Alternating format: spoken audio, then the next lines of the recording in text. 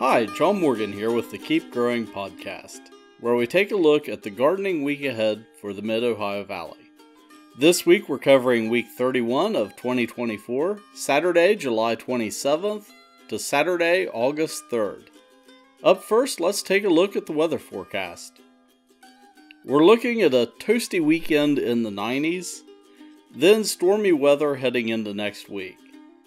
It's going to feel like a sauna with pop up storms on Monday, and then more widespread thunderstorms, some heavy, Tuesday morning through Wednesday afternoon.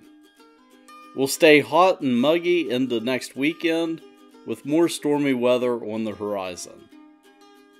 On the upside, this will hopefully help to alleviate the ongoing drought conditions. In the garden this week, it's time to start looking at getting some of the last late crops in the ground. A few years ago, I made the mistake of planting snow peas too late in the season. I had beautiful blooms, but they got taken out by a hard freeze before they bore fruit. Now is getting into the danger zone for planting fall peas. A good rule of thumb I've found is to look at the average first frost date, around October 20th in our region, and then calculate backwards based on the crop time on the seed pack, with some extra days in there as a buffer. Snow peas average about 60 days, which is pretty much all of August and September. Right now is also time to plant fall cabbage, and kale. They're a bit more forgiving when it comes to frosts and freezes. I also recommend investing in some row covers if you really want to start pushing the boundaries of the growing season.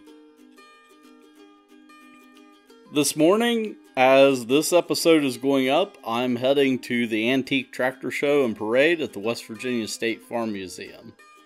Look for a video about it in the coming weeks on Bob's Live. That's right, Bob's Live, our weekly live show, is returning in August. Since June, I've been collecting video for some very interesting segments. Also, with the kickoff of the Olympics in Paris, I thought we would have an Olympics of our own. Right now on Facebook, we have head to head matchups the plant with the most likes for each match in a round will move on to the next round until a winner is crowned. Head over to Facebook, like your favorite plants, and until next time, keep growing.